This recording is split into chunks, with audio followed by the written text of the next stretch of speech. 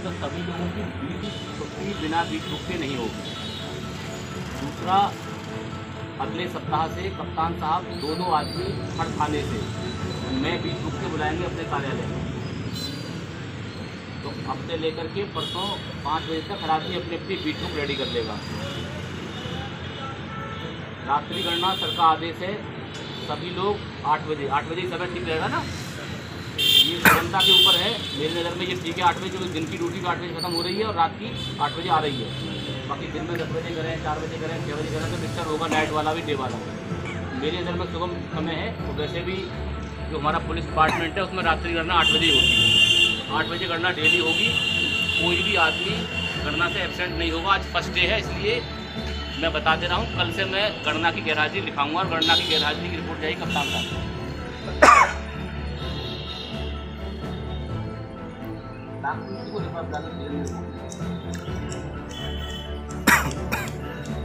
प्रार्थना पत्र जो भी आएँगे, वो प्रार्थना पत्र बीट वाइज भी आपको दिए जाएँगे। बीट वाइज बीट कांस्टेबल अपने अपने बीट में जाकर के प्रार्थना पत्र की जाँच करके सेकंड डे देगा। 24 घंटे में प्रार्थना पत्र का निस्तारण होना है। वो अगर अधिकता ज़्यादा होगी तो सब इंस्पेक्टर से हटा करके कांस्टेबल और हेड कांस्टेबल को दे दिए जाएँगे। तो हर कर्मचारी जिसको प्रार्थना पत्र आवंटित होगा, उसकी गुणवत्तापूर्वक जाँच करके और चौबीस घंटे में वापस कर देगा। दिन वाला जो कर्मचारी ड्यूटी में है, उसे उसकी अगर ड्यूटी है और प्रार्थना पत्र उसको मिला है तो वो अपनी ड्यूटी के साथ साथ मुझे अवगत कराएगा। मैं ड्यूटी से उसे मुक्त करूँगा घंटे दो घंटे के लिए और वो अपने प्रार्थना पत्र की जाँच करके आएगा। और जो नाइट ड्यूटी वाला आदमी है, वो अमूमन सुबह चार बजे, पाँच बजे आकर सो जाता है। दस, ग्यारह, बारह बजे तक सो करके बारह बजे के बाद अपने प्रार्थना पत्र की जाँच में जाएगा। वो अपने प्रार्थना पत्र की जाँच करके अवगत कराएगा कार्यालय में, लेकिन चौबीस घंटे में जाँच होगी हर प्रार्थना पत्र। की।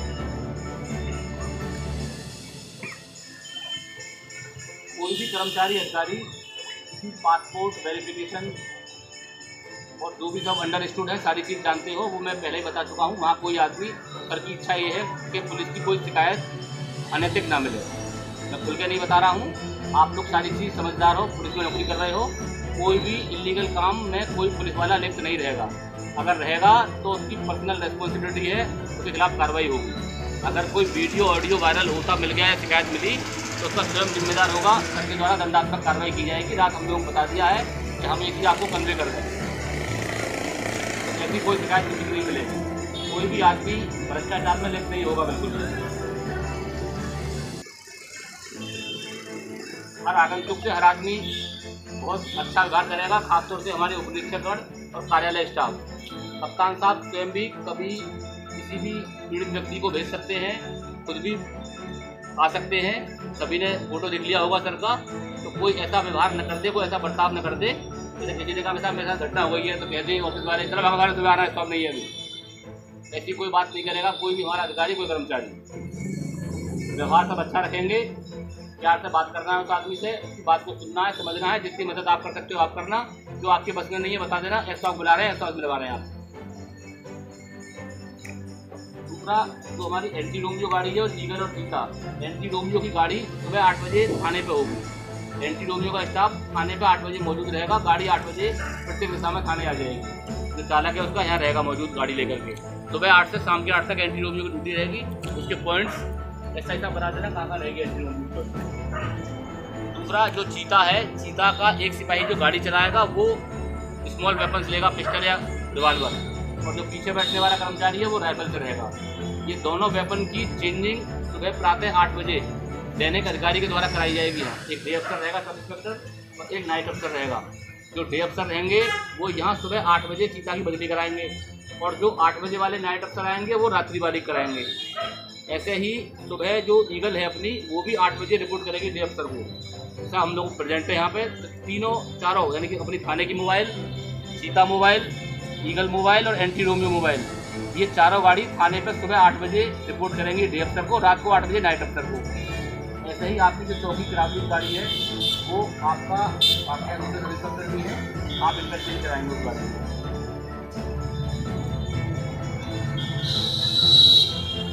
दूसरा, जो व्हाट्सएप पे मेरे द्वारा सूचना डाली जाती है व्हाट्सएप ग्रुप बनाया है मैंने थाने का एक। अब मुझसे पहले से बना है। उस पर जो सूचना या आदेश निर्देश मेरे द्वारा डाले जाते हैं, उसमें केवल पंद्रह मिनट की माफ़ी है। अगर मेरे द्वारा कोई निर्देश डाले गए और मुझे रिप्लाई नहीं मिली पंद्रह मिनट के बाद, मैं उसकी गहराजी दिखा के उच्च अधिकारी को रिपोर्ट प्रेसित कर दूँगा। तो फिर बाद में ये नहीं कहेगा, जैसे आप पूरा चैटिंग में लगे रहते हो ग्रुप को भी चेक कर लोगे कि क्या आदेश निर्देश किसके लिए मिले हैं। पैदल गश्त शाम को छः से आठ के बीच में थाना क्षेत्र में मेरे द्वारा कराया जाएगा। जिसके नाम ग्रुप में लिख के डाले जाएँगे, वो पाँच मिनट पूर्व खड़े मिलेंगे यहाँ, डंडा के साथ।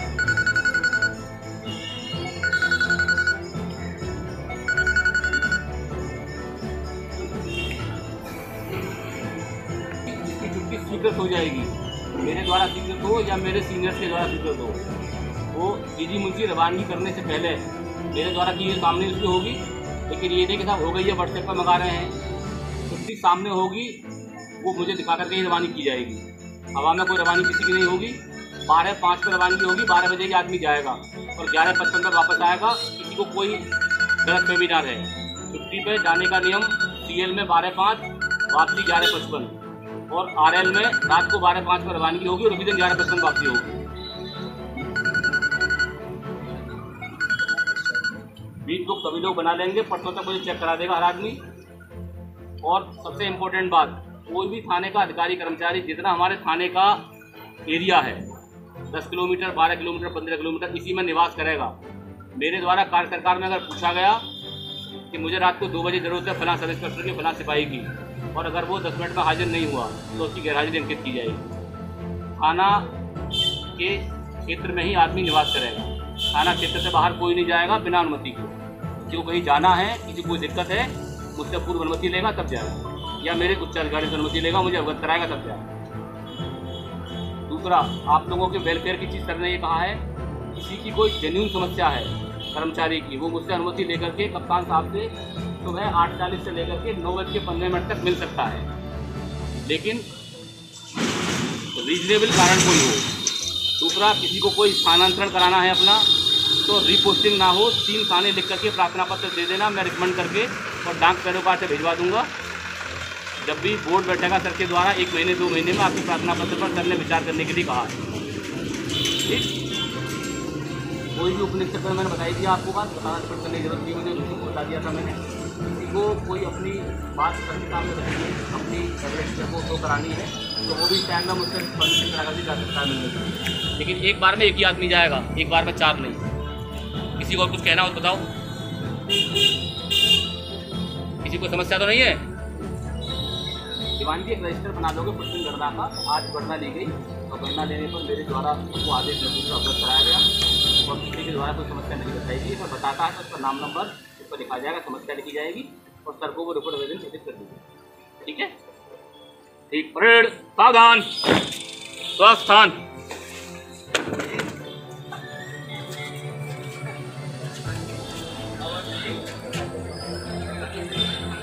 अगर आपको ये खबर अच्छी लगी है तो इसे लाइक कर शेयर ज़रूर करें और अभी तक आपने इस चैनल को सब्सक्राइब नहीं किया है तो चैनल को सब्सक्राइब कर बेल आइकन ज़रूर से दबाएँ।